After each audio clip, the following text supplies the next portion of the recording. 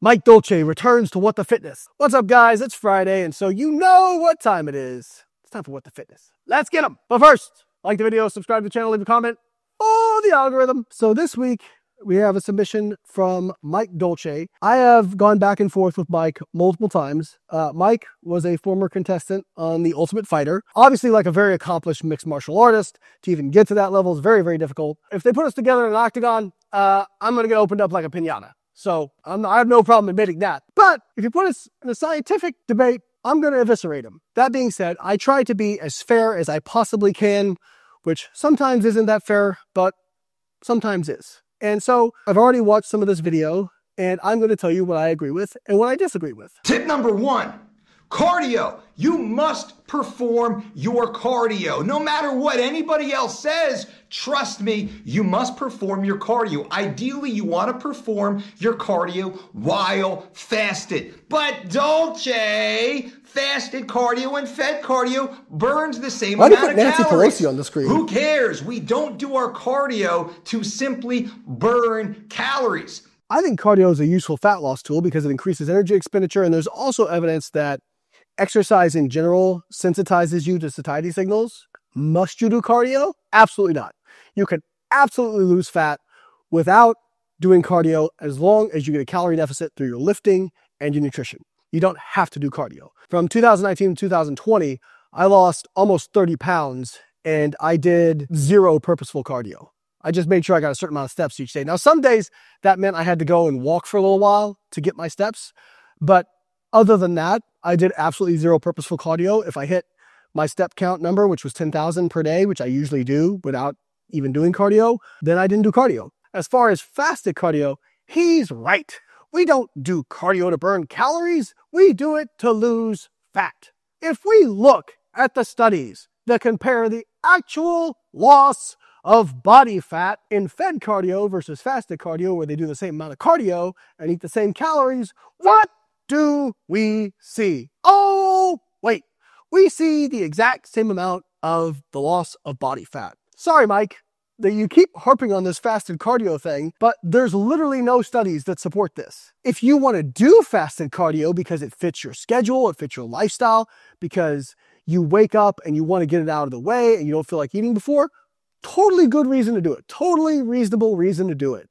But you don't have to, and it's certainly not superior. And what's interesting is later, he is going to reference a study by Brad Schoenfeld and really pumps up Brad Schoenfeld, which, by the way, well deserved. Brad's a fantastic researcher. But one of the studies I'm citing about fed versus fasted cardio was done by Brad Schoenfeld. So, Mike, are you saying that your expert that you're promoting, Brad Schoenfeld, that he's absolutely right about this other thing, but full of shit about cardio? Like, you gotta, what you gonna pick? Come on, which one is it? You could even just say, you know, I don't have any evidence to support this. I just prefer fasted cardio. And you know what? I would clap for you. Absolutely. Why does it have to be your way is the only way is the best way? That's it for cardio. Let's move on to what he says about building muscle. Step two, weight training. We gotta build muscle. You have to build muscle. You have to maintain your muscle. You have to train your muscle. Promoting resistance training, building muscle, I'm a fan. Absolutely agree. Now, you don't have to to lose fat, but it absolutely, resistance training will absolutely make fat loss more efficient and better overall because you will be specifically targeting adipose tissue, the loss of body fat, while sparing muscle tissue. If you don't do resistance training, if you don't do exercise when you're in a diet phase in a caloric deficit, you will lose a greater proportion of weight from lean mass compared to if you're weight training.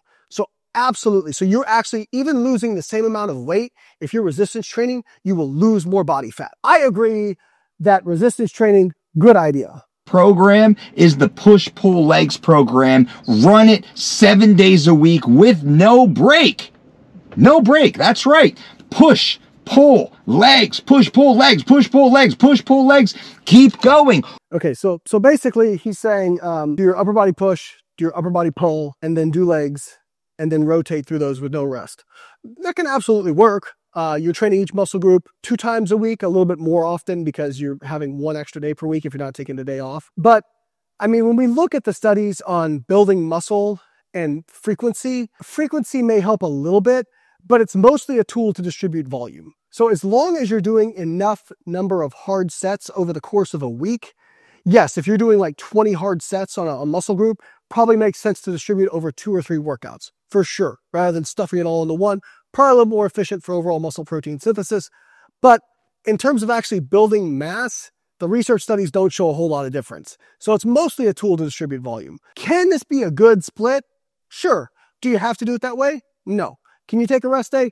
Absolutely. In fact, I'm writing a book on building muscle right now, and I'm going through how you can set up your program based on how many days a week you want to train. Now, if you've only got, say, three days a week to train, you're going to have to stuff a lot more into those three days to hit your volume requirement to maximize your synthetic response, to maximize your muscle building, compared to if you're doing five or six days a week. But you can do it.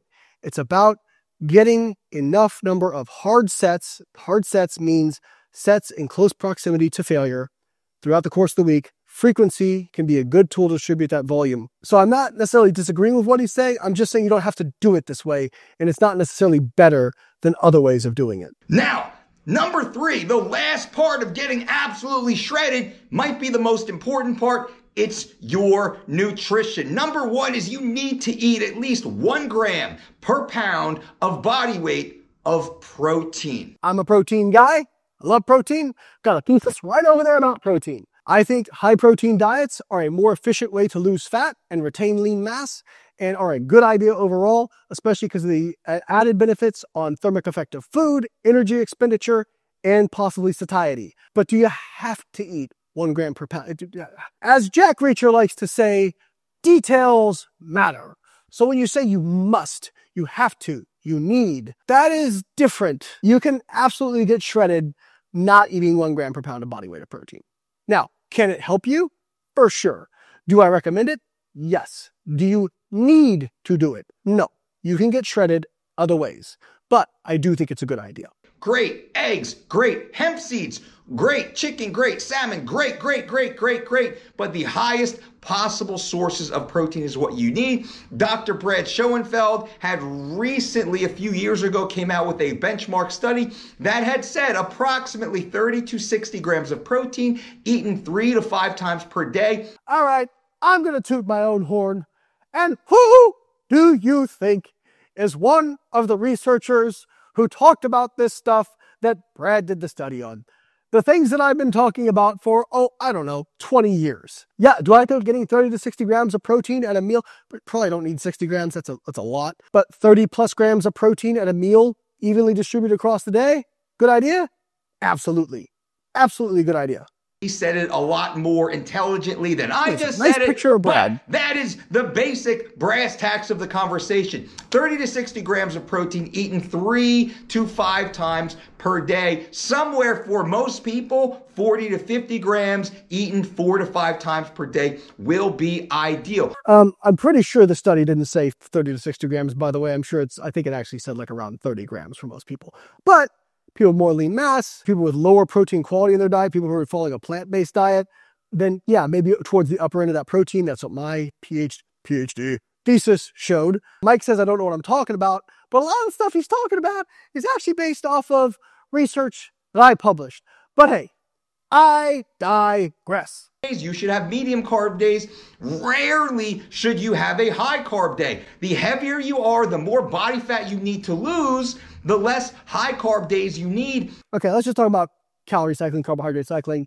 And I will jump to the TLDR, which is in research studies looking at the loss of body fat for the most part. Doesn't really seem to matter how you distribute your carbohydrates or calories. It's more about your weekly deficit.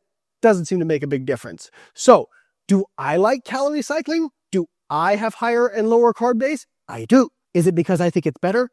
No. It's because I like to eat more on my training days. But Layne, there's got to be research showing that that's better, right? Mm, not really. Uh, I do it because that's what I prefer. See, Mike, I can admit when I do something that isn't necessarily supported by data just because I like it. I didn't die. I was scared there for a minute. I thought that I was just going to spontaneously combust by admitting that. But geez, Mike, you should try it sometime. It's actually quite liberating. One low, one high. One low, one medium, one low, one high. One low, one medium, one low, one high. We can start a song about it. But Maybe weeks like four, five, six, you go two Can we turn that low, into a rap? one medium, One medium, two one low, one high. Weeks seven, eight, nine, you go three low, one medium, two or three low, got time for that one kind of math? Ain't nobody got so time for that kind of slowly you stage it out, you stage it out. Right, let's see what else he just says. Your low day is a quarter cup of white rice. Your medium day is a half a cup of white rice. Your high day is three quarters of a cup of white rice. That is a, such an easy way. And whether it's white rice, whether it's Three quarters of a cup. So one cup of cooked white rice is 44 grams of carbs. So you're telling me your high day involves one cup cooked white rice. I'm, I'm, I'm guessing he means per meal. I'm guessing he means per meal. That's still at five meals. That's like 220 grams of carbs. Not exactly a high carb diet. Um, and if you're doing a quarter cup, that's like 11 grams of carbs at each meal. That's 55 grams of carbs overall. Then you add in whatever you get from vegetables and whatnot. Not very many carbs at all. Somewhere in there, he talks about like counting the the carbs from vegetables. we do count the calories of vegetable consumption because I know some people who overeat certain type of vegetables and they say that those calories don't count. When you get down to single digit body fat percentage, those calories actually do start to count. So I do agree you count the carbs from vegetables because I mean potato is technically a vegetable, uh, carrots are vegetables, peas are vegetables, and they are not. I don't, I don't want to say peas and carrots are high in carbohydrates, but they're higher compared to other you know more traditional vegetables or fitness vegetables like broccoli, cauliflower, that sort of thing. But you still do get calories from them. They are a source of calories. Some people will say you don't need to count them because it's so low. Whatever. I don't. Vegetables aren't going to make anybody fat for sure. But typically, people who don't count calories from vegetables, then don't count calories from gum, then don't count calories from like licks of food or like random handfuls of stuff. And that can add up over time. So I just tell people count everything because, like, if you're already weighing out your food, who gives a crap if you're counting vegetables? This wasn't the worst video I've ever seen from him at all by far. And hey, if you do this stuff, can you get results? For sure. I am not saying you can't get results, but what I don't like is how he frames it as this is the best way to do this stuff. The only thing that I would say on there is the best way to do stuff would be the protein recommendations. I think those are pretty in line with what I would recommend uh, in terms of the amount of protein and how you distribute it and the sources of protein. Would agree with those. But most of the rest of it, it's not bad advice. It's not terrible advice. It's just the way it's framed is this is the best way to do things. And that's simply not supported by the data. You have way more flexibility in how you can do things. You don't need to do it exactly this way. Can it work? Absolutely. Not the worst video I've ever seen. Me and Dolce have gone back and forth on social media before, whatever. Do I think he gives terrible advice? No. If you follow him, you can get results, obviously. Do I think he beats his chest a little bit without supporting data and then he like cherry picks the data that fits his bias as we showed with protein but then with the fasted cardio he ignores that data. So whatever.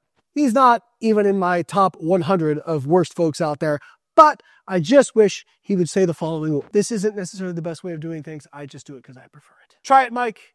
I promise you it will set you free